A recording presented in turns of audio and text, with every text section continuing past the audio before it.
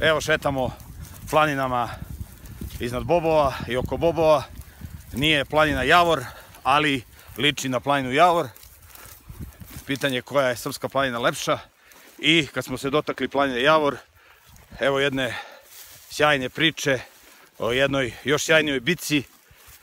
Tu je profesor istorije, najbolji poznavalac koga ja znam o istorijskim događajima, ali onim pravim, ne onim bečko-berlinskim.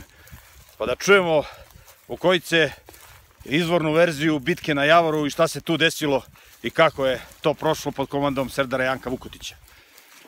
Pa, koja je planina najljepša? Sve su naše planine najljepše. To je jedno drugo. Ispričati sad bitku na Javoru, bilo bi to, pošto je bitka trajala od Drine do Mojkovca 93 dana, trebalo bi nama makar 9 ili najmanje 3 dana, ali evo je jedan zanimljiv događaj koji bi se mogao gotovo povesti, podvesti pod anegdote, ali je priča 100% tačna i autentična. A mogla bi da se podvede i pod veštine vojničkog ratovanja da se prede na vojnim akademijama, a? Apsolutno, apsolutno, apsolutno, jer svaka onaj anegdota koja su u ovim krajevima i tijem, ovaj, Zlatarskijem i tako dalje, Zlatiborskijem, uopšte ovim dinarskim našim predjelima, izgovorila, to su uglavnom tačne priče, možda je neko, neko neku malo uljepšo ili nadogradio, ali sve su to istorijske činjenice, a posebno, posebno su to činjenice koje bi se, kako, ste, kako reče, mogle bi se predavati na vojnim akademijama kao najsvjetliji primjeri, je li tako? I ajde da ja skratim sad ovaj dio i uvode i tako dalje, ja ću samo jednu kratku priču da ispričam koja mislim da je zbilja zavređuje da, osta, da ne ostane nezabilježena i jače narod sa njom upoznao. Bitka se dešava na Javoru. Prvi svjetski rat. Prvi svjetski rat. Komandant tih jedinica je Serdar Janko Vukotić. Da ne pominjemo da je imao front dugačak 200 km i tako dalje. A koliko imao vojnika na 200 km?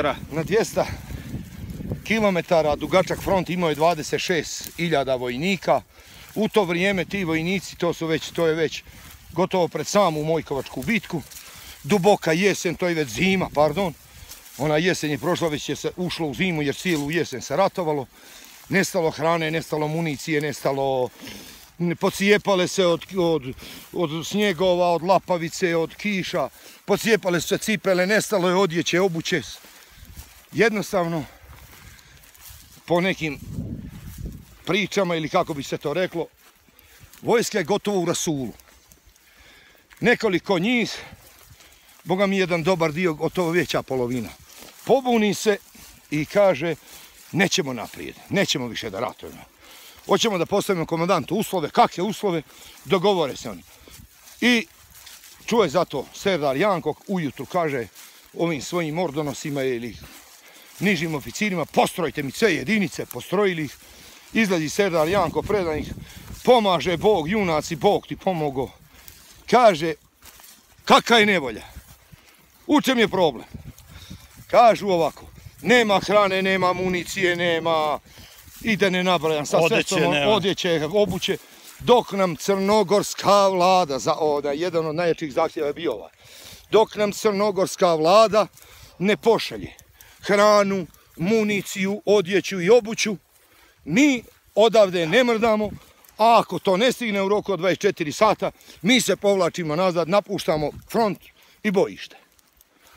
Sluša to Serdar Janko, kanu mu suza iz desnog oka, stade u stav mirno i komandova jedinice mirno, oni svi u stav mirno, on skide svoju šapku, kapu, oficijsku, skide činove, skide svoj šinjel, izu svoje cipele i baci to sve onako pred onaj stroj i kaže Junaci, ovo vam je sve što vam crnogorska vlada u ovom trenutku može poslati i što vas more pomoći. Uzmite ili ostavite, a ja idem bos i bešinjela dušmanima na rovove i ko će za mnom u Juriš.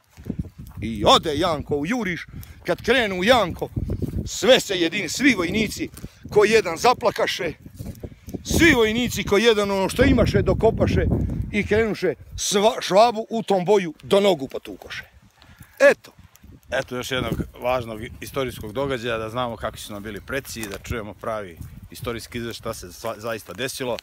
Hvala Vukojice, a uskoro se čujemo sa novim istorijskim izveštajima iz prve ruke.